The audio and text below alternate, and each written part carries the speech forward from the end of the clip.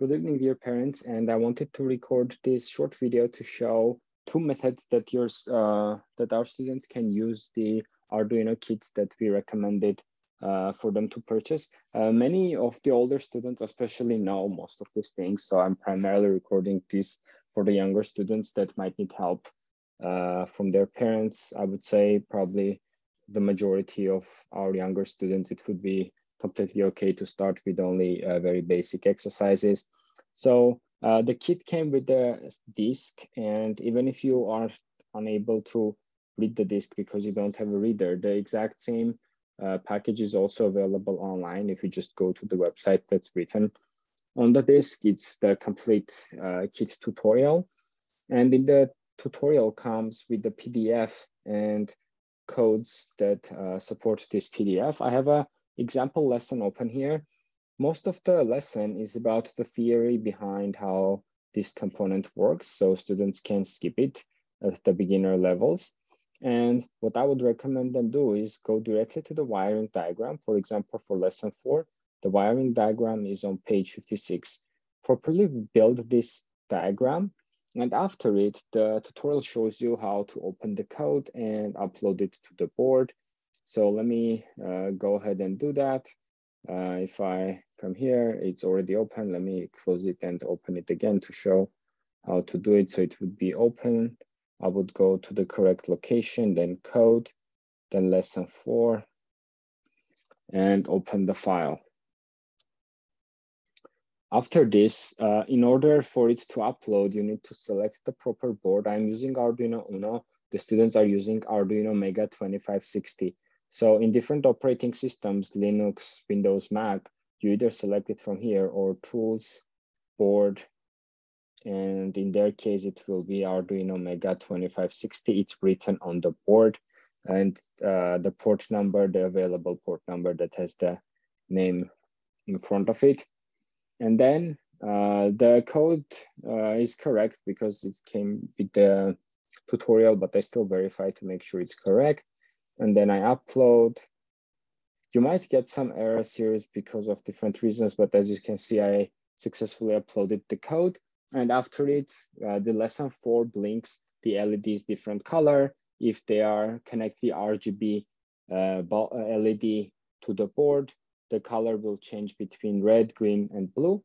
And this would be how they would complete this lesson. There are many other lessons. Uh, I think there are around 30 lessons in this tutorial, and some of them would require to also add uh, extra pieces of code. So there is one more step you might need to do for the others.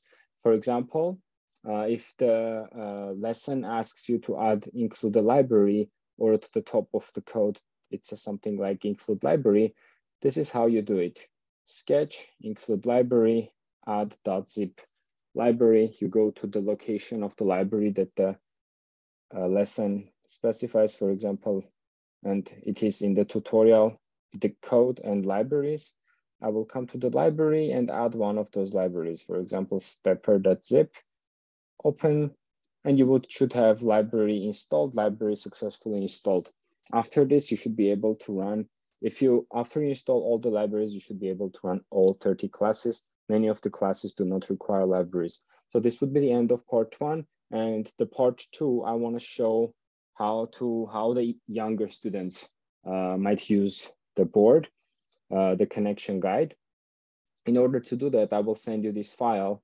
It's called, uh, in most of the operating systems, if you just compile examples, Firmata and standard Firmata, it is available. I will also attach it to the email.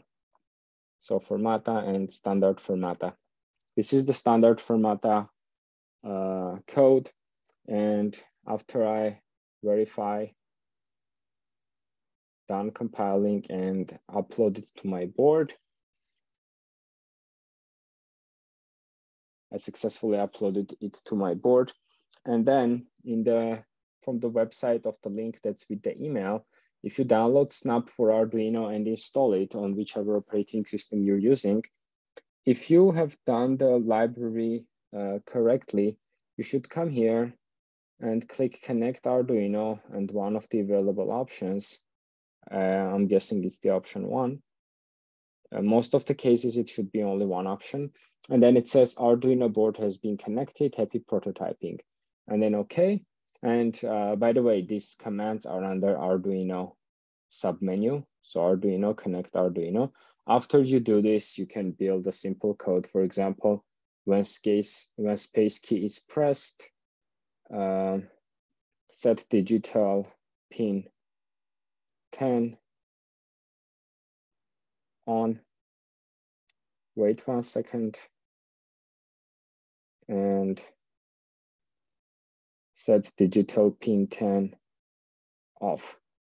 Uh, if you do this and connect an LED light to the digital pin 10, uh, then every time you press the space, the uh, pin will turn on, will stay on for a second and then go off.